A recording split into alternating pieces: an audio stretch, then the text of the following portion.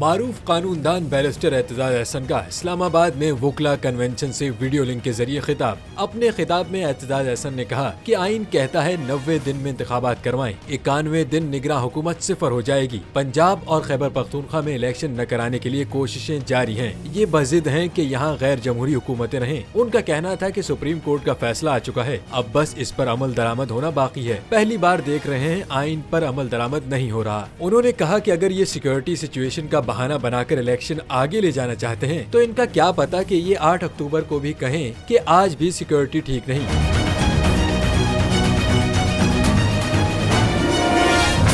एजाज एहसन ने मजीद कहा कि दूसरा बहाना उनका ये है कि रेंजर्स नहीं मिल रही। रेंजर्स तो राना सनाउल्ला के मातहत है। वो कैसे रेंजर्स को इजाज़त देगा? और तीसरा बहाना इसहाक डार की जानब ऐसी मुल्क की मुआशी सूरत हाल का है। तो इसहाक डार के ज़्यादातर असासे पाकिस्तान से बाहर डॉलर्स में हैं। डॉलर की कदर बढ़ने से फ़ायदा इसहाक डार को होता है, लेकिन नुकसान पाकिस्तान को। ये एक क्लियर कॉन्फ्लिक्ट ऑफ़ इंटरेस्ट है। एतजाज एहसन का कहना था की चीफ जस्टिस उमर अता बंदियाल और उनके साथी डट कर खड़े हैं की आइन का तकाजा पूरा हो और नब्बे दिन के अंदर इलेक्शन हो।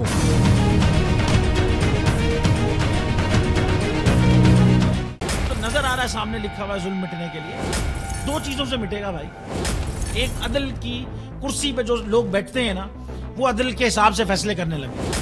दूसरा, कौम निकल खड़ेगी उस जुल्म के खिलाफ। तो जुल्म खत्म हो जाएगा। या इन दोनों में से कोई एक चीज़ हो जाए या दोनों हो जाए। अगर चार सौ बीसी का मुकदमा था, उस वक्त अदलिया में जो लोग बैठे हुए केस देख रहे थे, वो पूछते ना, यार, चीट हुआ कौन है? जब उनको दिखता कोई चीट नहीं हुआ केस खत्म कर देते। तो जालिम जुल्म कर ही नहीं पाता। नौ जजेस ने नोट बिफोर किया मेरे केस को, यार, डेढ़ साल चला। शख्सी जमानत का केस। सेम केस इस्लामाबाद में कर दिया। एक एक ही इल्ज़ाम पे दो केस हो नहीं सकते भाई। मतलब साठ दिन का वक्त होता है 102 दिन के बाद मैं जीत गया, केस भरी हो गया 102 दिन के बाद अपील फ़ाइल की। एक्सेप्ट कर ली। नहीं करते ना एक्सेप्ट खत्म हो जाता ना जुल्म, यार। भरी अदालत में मुझे बरी कर दिया। फिर पता नहीं क्या हुआ, ढाई घंटे बाद का नोट बिफोर मैं नहीं सुनता ये केस खड़े रहते अपने फैसले मिट जाता जुल्म। अल्लाह ताला ने बिठाया इस कुर्सी, इन कुर्सियों पे इनको, यार, ये अल्लाह ताला की तरफ़ से फैसले कर रहे हैं। तो या तो ये फैसले आएँगे, जुल्म मिट जाएगा, या कौम खड़ी हो जाएगी, जुल्म के खिलाफ।